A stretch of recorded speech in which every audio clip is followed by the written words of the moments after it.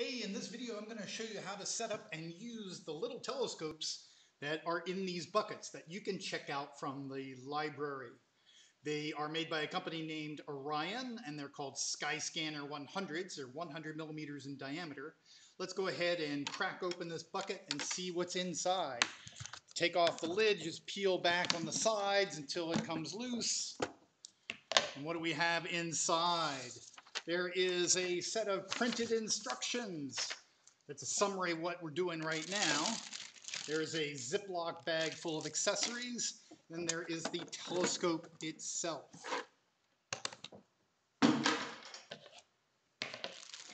So let's take a look. The telescope.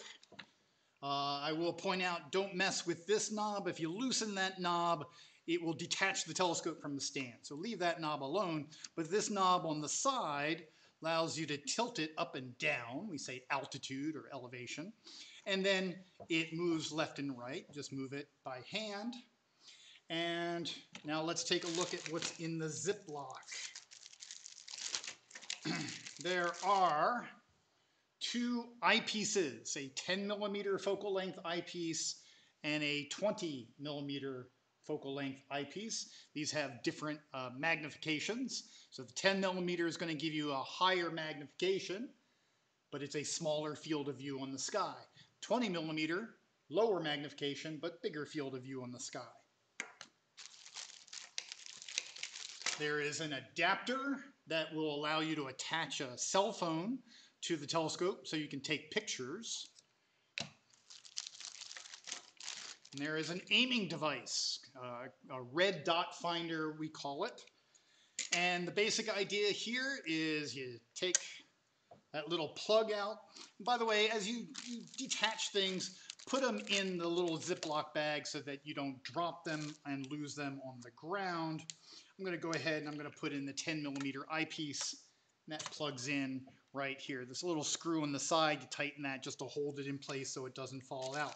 Again, the, uh, the caps for the eyepiece go in the Ziploc bag so you don't lose them.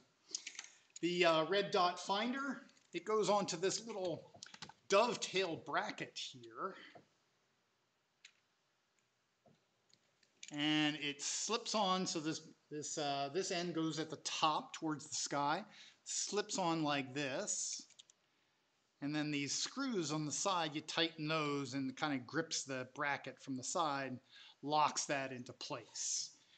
And then there's a um, there's an on-off switch right here. It is battery operated. One of those little button batteries. So at the end, make sure you turn it off when you pack it up so that uh, the battery doesn't doesn't drain.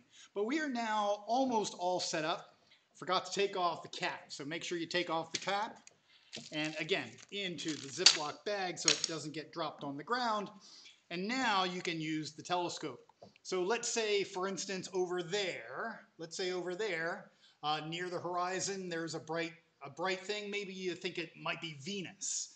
And well, how do you, how do you do this? You're going to line up that red dot. This is how you'll look through. And you'll see a red dot. Of course, it's nighttime. I'm doing this in the daytime. I'm doing this inside. You're outside at nighttime.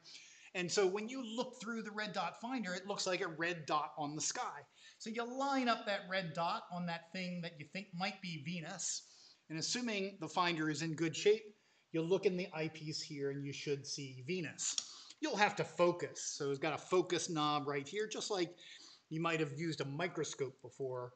You turn the knob to focus, moves the eyepiece in and out. And uh, that's the basic idea of how you use this. The, um, you'll want to set this on something sturdy, like uh, if you're outside, uh, like the, you might find a picnic table or a low, one of those low walls or something that you could set it on. Something sturdy so that when you walk around, it doesn't shake or vibrate. And uh, now you might find, you might find that when you get lined up on something and the red dot's exactly on it and there's nothing in the eyepiece, that means that this red dot finder is misaligned. So if uh, find a bright star or Venus or the moon or something, get it in the eyepiece just kind of by fishing around. And then you'll look through the red dot finder, and if it's not on the object, then use these two screws right here and here, those two knobs rather, and adjust those until the red dot is on the object when it is also in the eyepiece. And then you will have corrected the misalignment. And then for your next object, you'll be able to rely on the red dot finder to line up.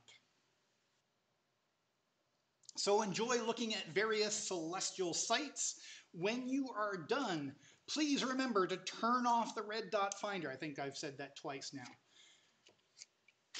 Take that off, put it in the Ziploc bag, put the cap on, take the eyepiece out, the little covers for the eyepiece, make sure you put those back on to protect to protect the eyepiece while it's jostling around in that bag. And then everything goes back into everything goes back into the um, bucket just like you found it, and return it to the library.